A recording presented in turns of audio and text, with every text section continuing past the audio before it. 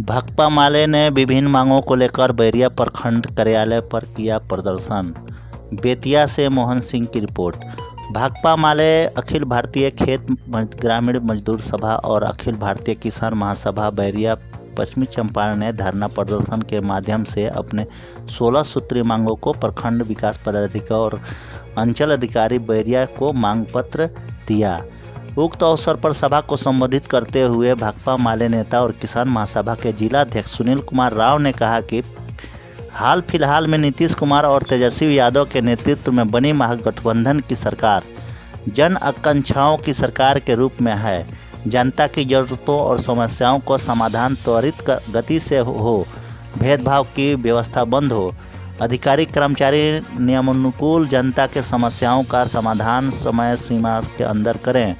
भ्रष्टाचार पर रोक लगे। किंतु देखा जा रहा है कि सरकारी व्यवस्था में भाजपाई मानसिकता के अधिकारी महागठबंधन के जन आकांक्षाओं के विपरीत कार्य कर रहे हैं।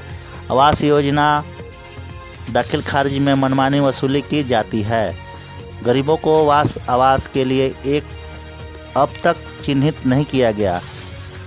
पाँच डिसमिल ज़मीन देने का वादा यहाँ अब तक वादा ही बना हुआ है। उल्टे हाई कोर्ट, लोक शिकायत व अंचल के आदेश के नाम पर गरीबों को उजाड़ा जा रहा है।